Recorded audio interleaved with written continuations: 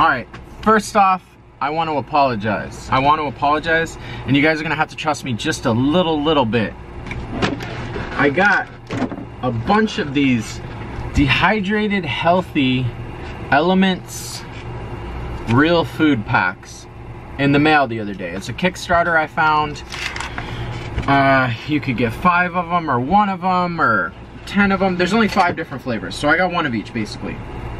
They weren't cheap, so I'll give you that. They're about $67 for five, so that equals out to a little over, about $13.50 each. So anyways, this is where the trust has to come in.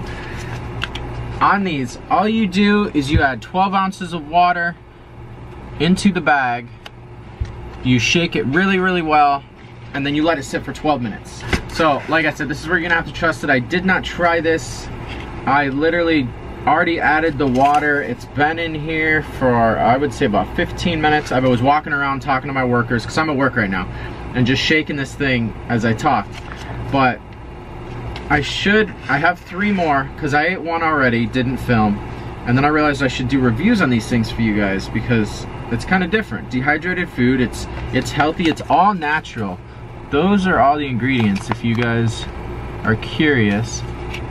This is the website where you can go buy them.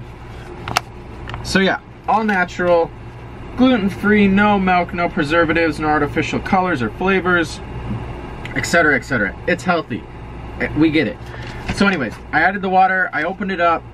It smells, it smells interesting. I don't want to say it smells bad, but it smells interesting. On the last one I ate, it was, uh, it was a chicken, cauliflower, and like sage or something.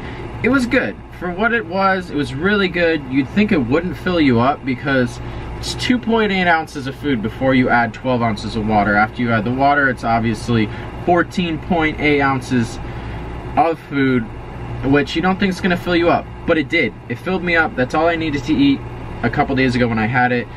And I just needed, to, I added some Cholula, some hot sauce. I had two different kind of hot sauces to it. Some like buffalo hot sauce and a little bit of salt and pepper. And that's all I had to do for it.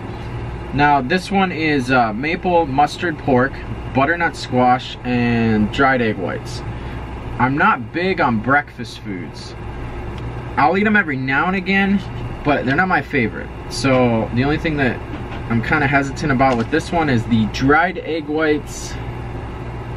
Because like I said, the whole breakfast thing. Now, looking at this, this does not look good. and the butternut squash pieces, in my opinion, I'm assuming that's what that is. They're too big. They should have cut them up smaller, but all right, let's just try to get a little bit of everything. There's some, and let's try this and see what we think. The pork is really bland. It says it's maple mustard pork. It tastes like the mustard, because it doesn't, let me read this. It says the pork was seasoned ahead of time and cooked with seasoning on it. It doesn't taste like it to me. The pork tastes really, really bland. I'm not really tasting any maple. This says there's maple sugar in there. I, I could care less because I'm not big on, like I said, breakfast foods. I associate sweet foods with breakfast. If I'm eating something sweet, I want it to be dessert or ice cream or a candy bar. I'm not really big on like a sweet breakfast with syrup and I can eat like some and then I get sick of it. I'm done very quickly because when I eat a meal, I want it to be like salty or savory or sour, you know what I mean, or hot, not sweet. So it's not too bad. The butternut squash, it was kind of crunch. I wouldn't say crunchy, but it wasn't super soft like you would expect butternut squash to be for those of you that have had it. And it was okay. I don't know. And I'm gonna compare this one to the only other one I've had and then I will do reviews on the last three as I do them so you guys can call, kind of follow along with how I'm reviewing these things and the other ones I would be curious to see this one. This is, I don't know, it's super intriguing to me. One second, I may have to get that phone. Alright, one second. Okay, sorry, um, important phone calls. So anyways, into the review really quick, or further into the review. The pork was okay, it needs more seasoning. Squash, a little bit crunchy. The eggs, I don't know where the eggs are at. I guess that's maybe what this granularly like looking stuff is that looks like it it looks weird.